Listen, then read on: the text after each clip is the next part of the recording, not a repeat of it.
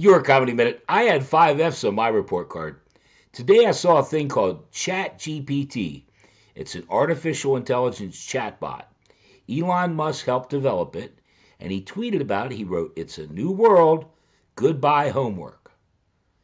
Apparently, it, kids can just, you know, a kid can just say, I have a thousand word essay on Abraham Lincoln.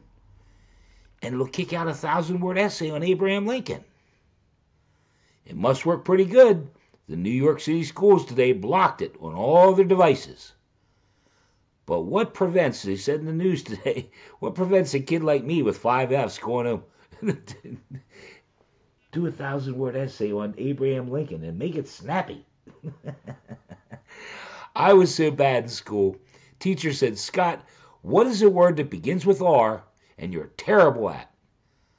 I said, spelling. Have a good one. Have a nice weekend. I'll see you Monday.